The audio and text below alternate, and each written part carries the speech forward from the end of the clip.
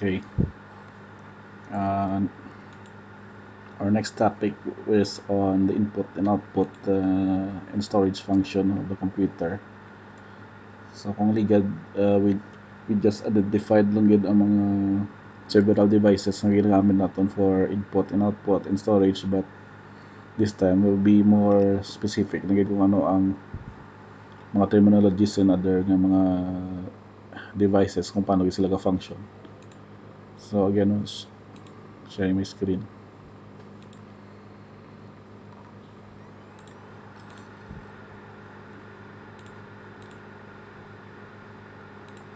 Okay, let me know if uh, naka full screen na sa side.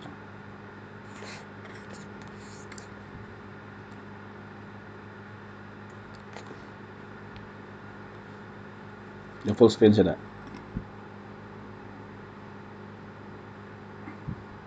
Sir. Okay, sige. So our objectives here is to identify, course again, identify, describe the input, output devices, as well as uh, the storage devices and how they, they are connected to the computer, and a few uh, terms naman wherein some of them already identified that natin as our input and output device. But uh, we have to be more specific naman as to what uh, each of these uh, devices uh, works. Kung paano nila sila mag-interact sa aton nga uh, system unit. So we have these terms. Output devices mga pointing mga money. SSD, SSD storage, USB, and uh, video input. So definition again, uh, input devices, it gets you to have your data and commands uh, enabled to get inside the computer.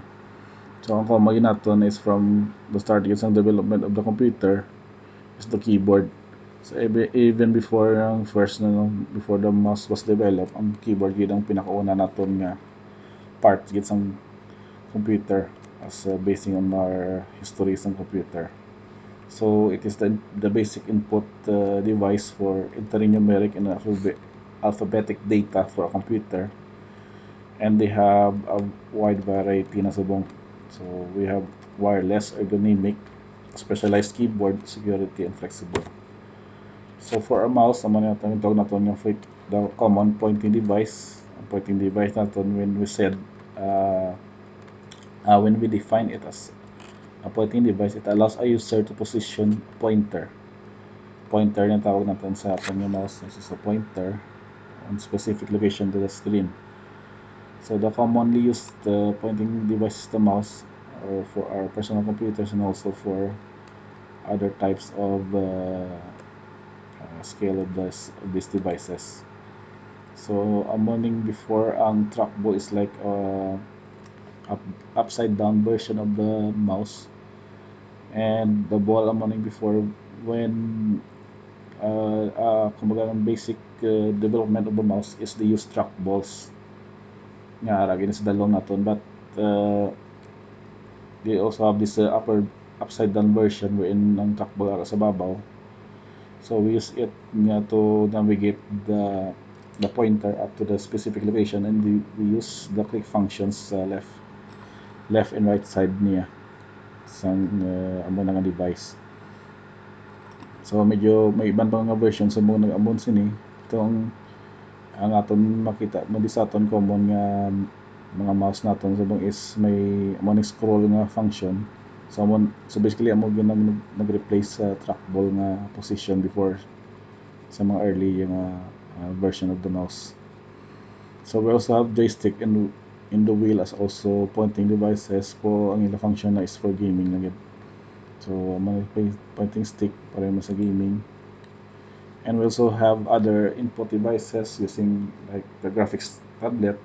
So if you are if you are a digital artist na mga sila ginagamit nila as a, to draw out the digital versions of the drawings sa maning graphics tablet natin or we also have stylus no maning do digital pen naton to input uh, a specific uh, na drawing or uh, graphics na ipubutang natin. Then we also have touch display screen naman sa atin mga cellphones, audio voice input, mga touchpad natin, scanners for documents, digicam, there is one digicam natin mga high-end mga digicam, and for video input, and virtual devices and touch sensitive pad. These are just the other terms and common natin for your input devices. Then for biometric input, amo ning term natin nga uh, what we have for sa mga iba natin na laptops, they have this biometric cable scanner wherein it is an authentication technique by using a person's physiological or behavioral characteristics. So if you notice no kung sa ibang laptop mayroon sila biometric or sa atin lang ba if we go no mag-slot sa mga office no mga may check attendance na sila by using the biometric input. Para nga to authenticate naton nga ano nga identity naton nga ra to sa among lugar at a specific time.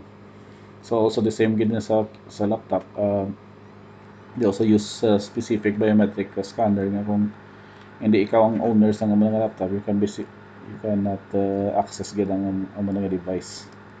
So would also need uh, biometric input para ma-unlock mo siya.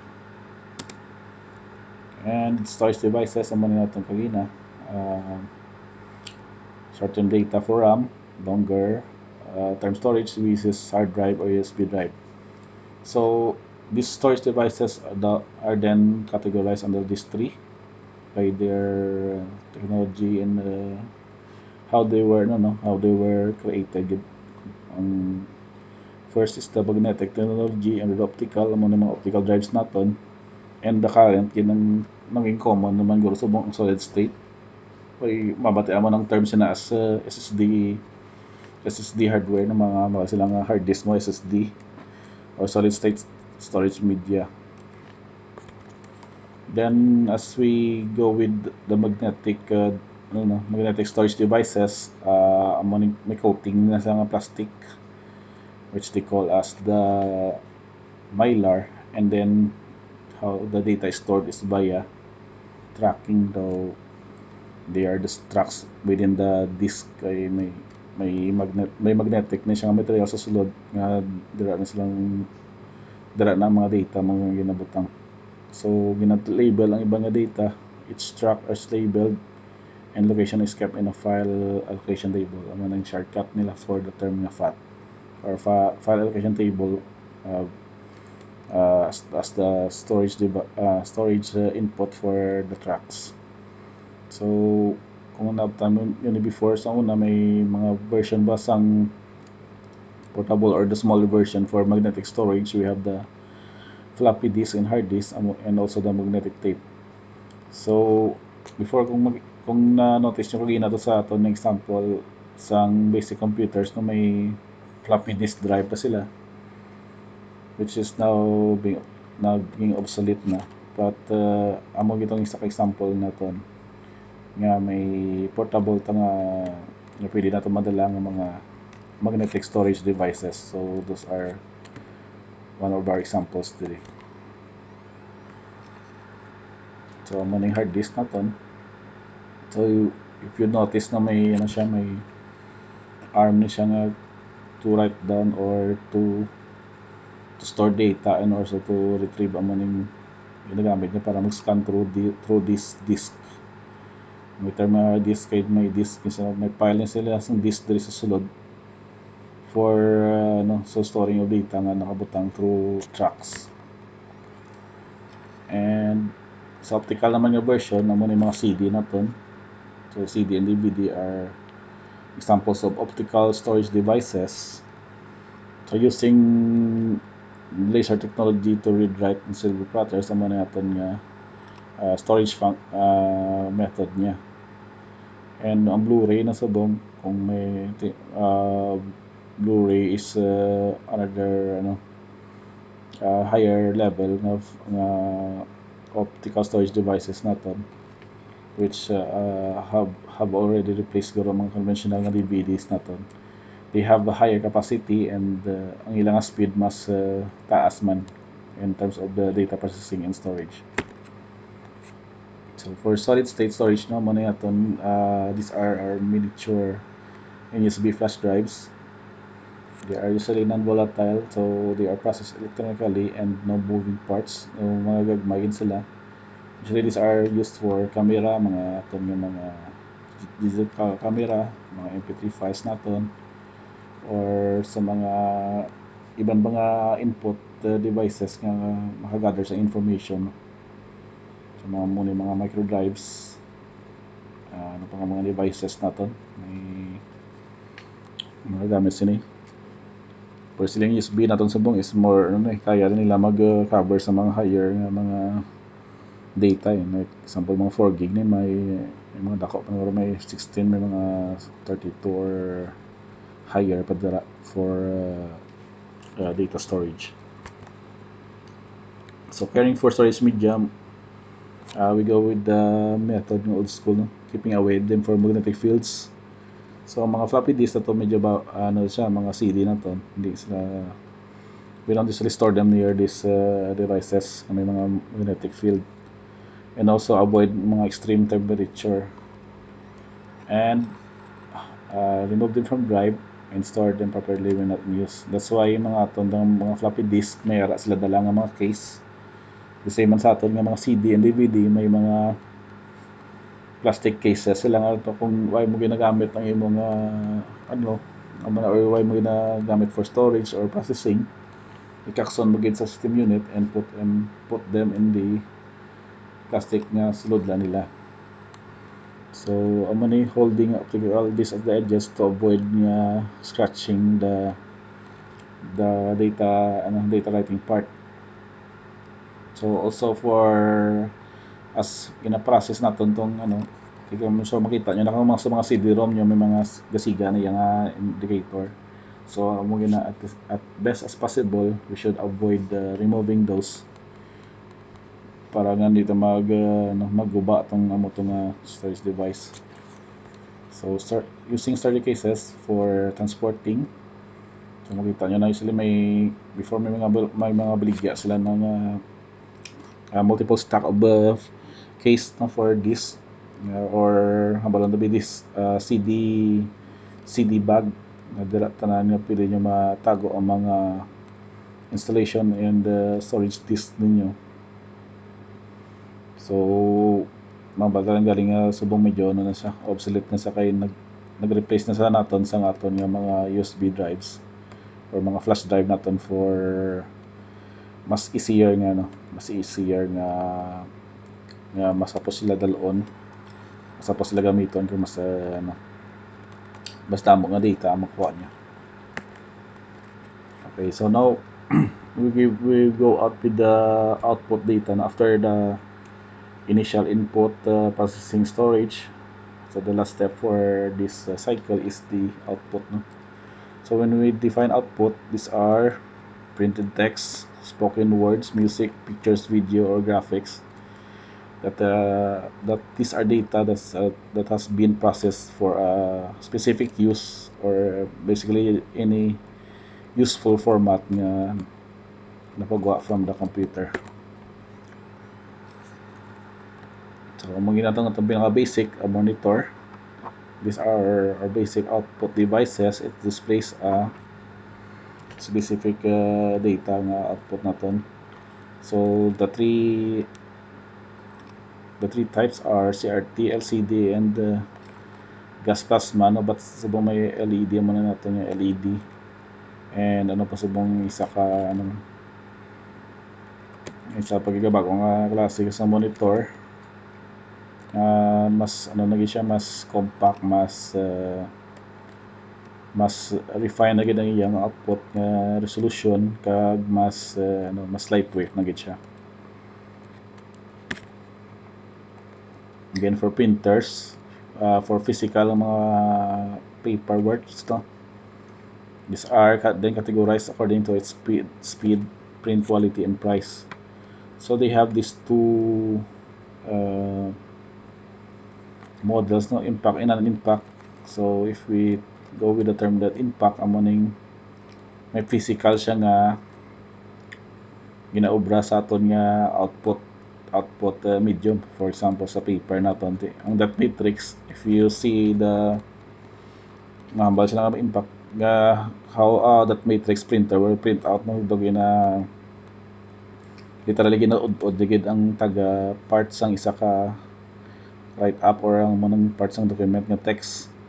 Whereas sa laser kay sa inkjet ya yeah, nan impact sila kay in a sense to daw mas ano sila mas tasig sila mag uh, produce ng output.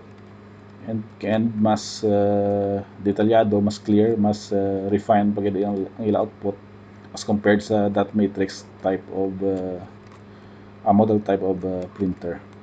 So we also have specialty printers sa mga mga thermal no mobile label and platters. For this are our examples. Sa mga platters na is for uh, large scale maps na may amon to sa office na may kami itong specific printer for printing out uh, um, maps no document sang uh, city for example being sa location ng property map or uh, map mismo sang uh, city gid sang Iloilo they can produce this specific uh, output na large scale using this uh, type of uh, specialty printers so for other output devices, we have this uh, list no?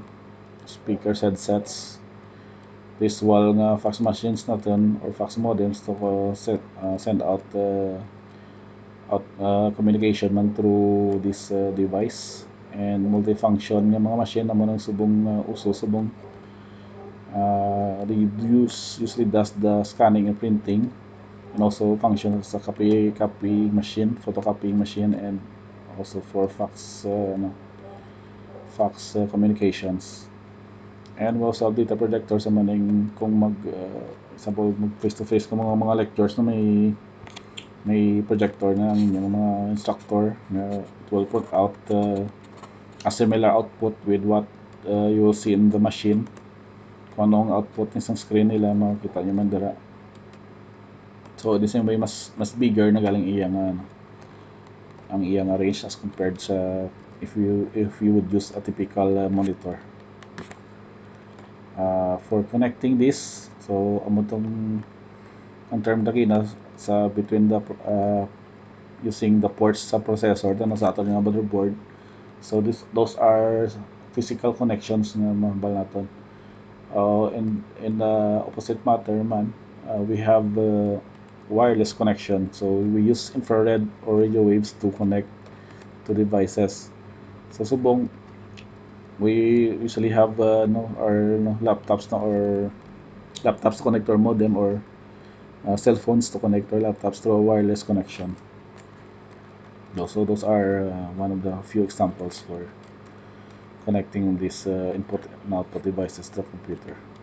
So, so, so as a summary, ano na nga input devices, input data and commands. So keyboard naman sila common devices. So listed naman ibandi. And to maintain a permanent copy of data, you have to store it in some type of a storage medium. So these are storage medium form form in three categories: uh, magnetic, optical, and solid state. Whereas example uh, output devices are monitors and printers yet. So monitors produces soft copy whereas printers are for hard copy na doon for physical din paper. Aside sa soft copy which are just uh, the digital uh, digital documents that we can see on our monitors. So mana producing hard copy, the process is for uh, result. So basing on speed, print quality and cost among ng categories ng printer. And input and output devices connected to the computer through wireless or physical connection using cables through cables and through ports and kung wireless naman infrared or radio waves or aton nga bluetooth bluetooth nga technology so that's that up for this There's ano sa input, output, and devices. Uh, any, ano, questions as to specific na mga input-output ito natin na uh, nagamit? Wala man, sir. So far, may mga uh, na-familiarize naman ng iba nga or may any ka mga ah, let's say input or output nga nga wala na mention nga naka ano nga nakaagay nyo gamit